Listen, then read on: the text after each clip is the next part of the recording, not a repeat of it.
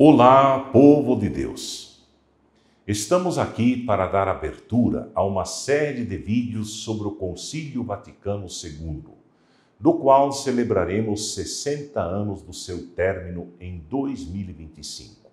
O Concílio Vaticano II foi um acontecimento tão fascinante quanto imprevisto, que nos interessa e nos marca profundamente, dilatando horizontes espirituais e culturais colocando-nos em contato com todos os principais nós problemáticos do mundo cristão e fazendo-nos experimentar, ainda que por fora, a dimensão de uma assembleia na vida da igreja, vivida mais como fraternidade do que como organização empresarial.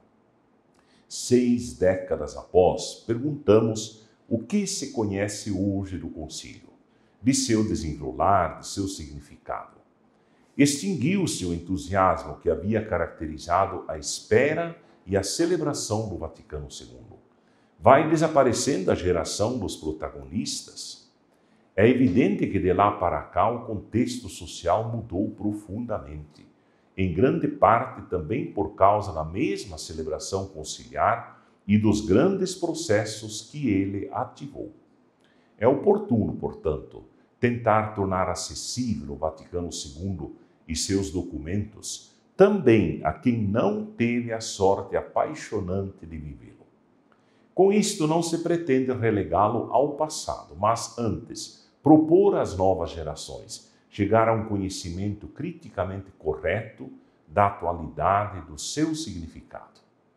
Dia 25 de janeiro de 1959, três meses apenas após sua eleição como sucessor de Pio XII, o Papa João XXIII anunciou a decisão de convocar um novo concílio, o Vaticano II.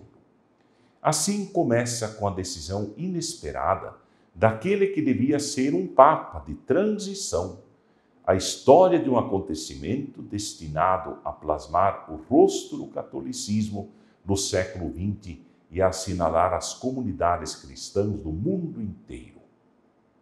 Os historiadores percorrem as vicissitudes, os estados de ânimo e o clima daqueles anos.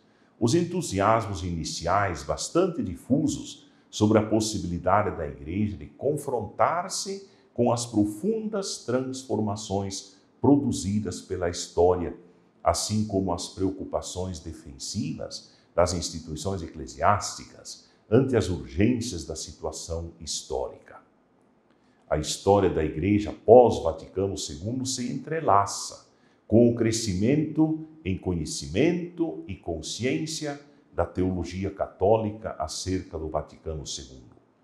Estudiosos de afiliações teológicas muito diferentes sabem agora muito mais sobre o Vaticano II, tanto em seu desenrolar no dia a dia, como em sua dimensão geral e marcadora de época como um acontecimento da história da igreja, da história da teologia, da história das ideias e da história política e social. A quantidade de informação sobre a mudança que aconteceu no Vaticano II é provavelmente mais do que a teologia católica esperava, e talvez mais do que a Igreja como instituição estava pronta para assimilar. Concílio Vaticano II, nas palavras de Paulo VI, mais do que um ponto de chegada, é um ponto de partida para outros objetivos. O Concílio Ecumênico Vaticano II foi um concílio pastoral, eclesiológico. Duas são as palavras-chave para entendê-lo bem: adjornamento, atualização, renovação, rejuvenescimento, diaconia, serviço e diálogo comunhão, corresponsabilidade e participação.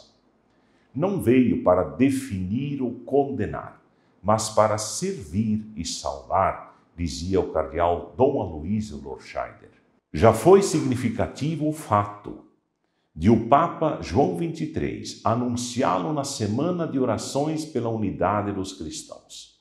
João Paulo II escreveu: Sinto ainda mais intensamente o dever de indicar o concílio como a grande graça que beneficiou a Igreja no século XX. Nele se encontra uma bússola segura para nos orientar no caminho do século que começa. Que esta série de vídeos que serão publicados aqui no YouTube do Regional Sul 2 da CNBB seja uma força para entendermos melhor ainda a igreja a serviço e em diálogo pela realização do reino de Deus.